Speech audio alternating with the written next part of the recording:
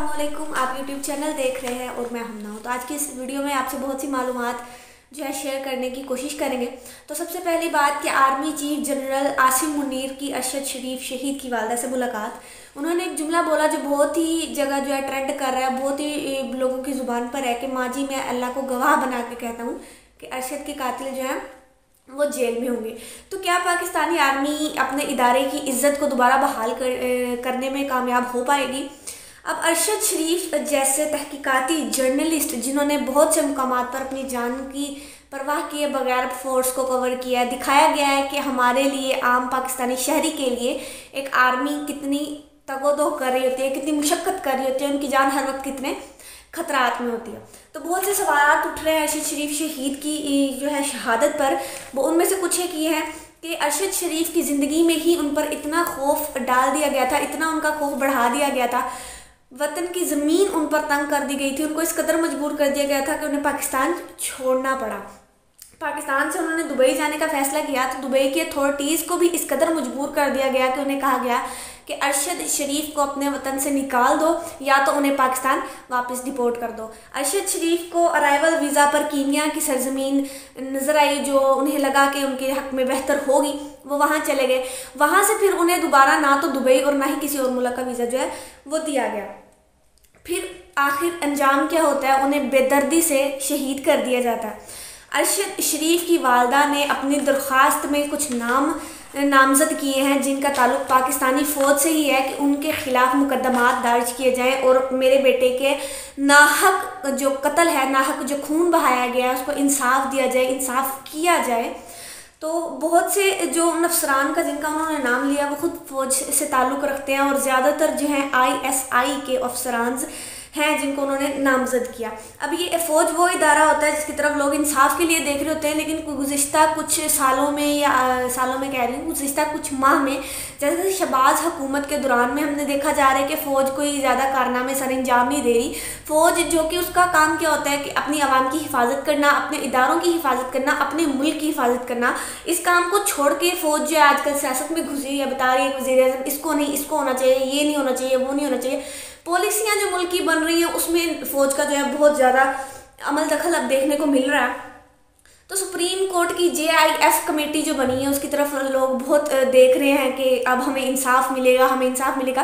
क्योंकि अरशद शरीफ वो सहाफ़ी थे जिन्होंने हमेशा मजलूम के लिए, जुल्म के खिलाफ आवाज़ उठाई। अब हमारा फ़र्ज़ बनता है कि उनके नाहक कत्ल को उनके नाहक, जो उनका खून बहाया गया, हमें उन्हें इंसाफ देना चाहिए।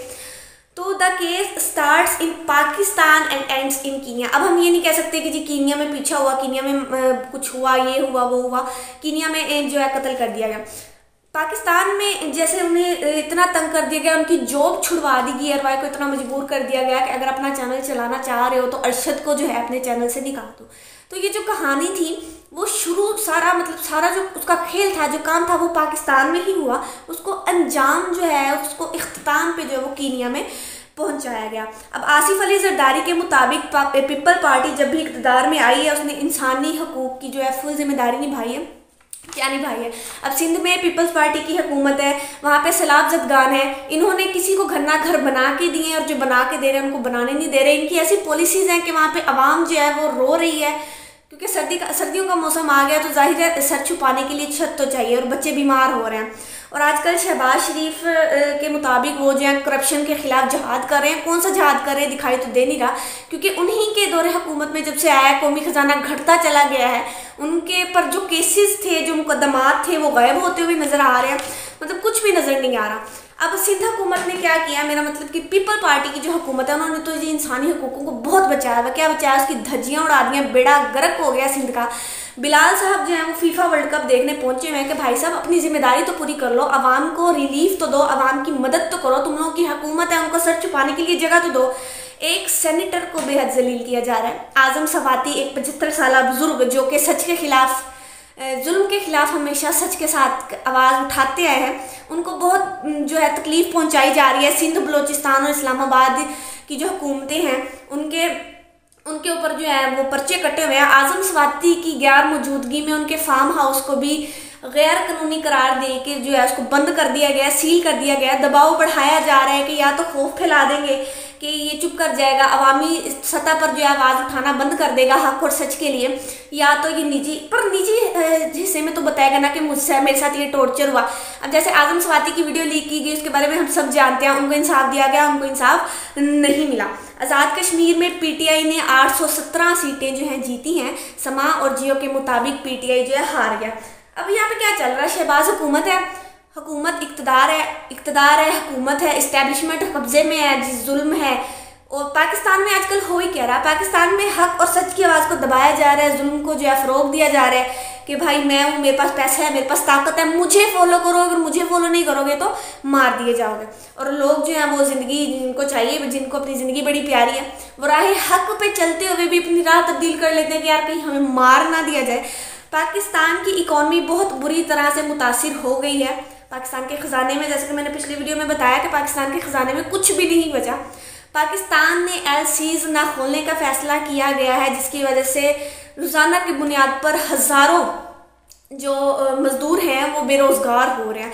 अब जनरल कमर जवेद बाजवा ने 2018 में इमरान खान को वज़ी अजम नहीं बनने देना था। अब इनकी प्लानिंग क्या थी कि शहबाज शरीफ जो है कबीना अपना जो है वो मुकम्मल कर ले, अपनी टीम मुकम्मल कर ले तो उनको जो है बना दिया जाएगा वज़ीर अजम अब बीबी साहिबा मरियम नवाज़ और नवाज़ शरीफ जो है, उनकी इसमें कह लो कि वो इस पर मुतफिक नहीं हुए कि कौमी खजाने में कुछ नहीं है, ये हो रहा है, वो हो रहा है तो इमरान को बनने दो वज़ीर अजम उसको जाने दो। तो इस वजह से इमरान खान जो इकतदार में आए, वज़ीर अजम बने, उनकी हुकूमत बन पाई।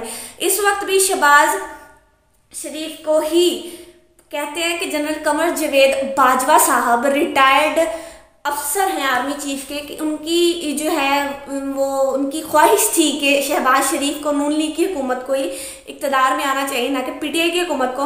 अब सलमान शहबाज जो हैं, वो उन पर मनी लॉन्ड्रिंग का और बहुत से केसेस चल रहे हैं।